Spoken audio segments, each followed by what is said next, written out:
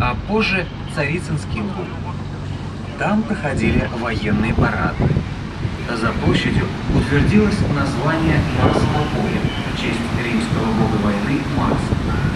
Парк здесь был разбит лишь в 20-м. Оранжево-красное здание прямо по курсу Михайловский